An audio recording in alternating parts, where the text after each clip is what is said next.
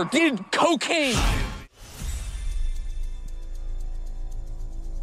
What do you get when you mix a black bear, white powder, and a script straight out of SNL? Either a critical hit or a commercial flop. Let's find out. But before we get too far in the video, if you guys could leave a like on this video, it really helps me out. I'm trying to fight the beast that is the YouTube algorithm, so make sure you leave me a like. Elizabeth Banks is back in the director's chair for the third time. Her last film was 2019's Charlie's Angels, and that film didn't go so well with the fans. How does this film fare? Well, I'm gonna say up top that it did feel like a movie that should have been gone straight to streaming, but it had good comedy. I enjoyed the comedy of the film. I thought it was funny. I liked the acting actors in it. The guy that played Han Solo, um, O'Shea Jackson Jr., and the little girl character, Keri Russell's character. I didn't really feel like needed to be in the film at all so that felt like it deterred from the movie. It had a lot of people in the film, so it was fun to see that she gave a lot of actors some roles to play and a lot of jobs. That part I did like. But a lot of the characters, they serve no other purpose other than just to be cannon fodder for the bear. Or should I say cocaine fodder? And yes, Ray Liotta was good in the film.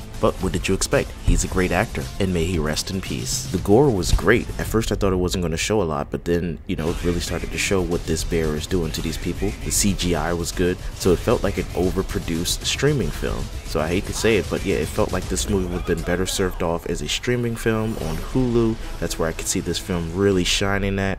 Um, as far as a theatrical release, I just didn't feel it for theatrical. I think what happened was after the passing of Ray Liotta, they said, hey, let's put it in theaters. We saw that the trailer went viral. It just didn't really sit well as a movie I'd go out to see, maybe at matinee price for sure. But this definitely will find a great home in streaming. I'm thinking Hulu could pick this up and this would be really good but as far as movie theaters go, mm, maybe not so much. So I'm gonna have to give this six and a half polar bears, if you know what I mean, out of 10.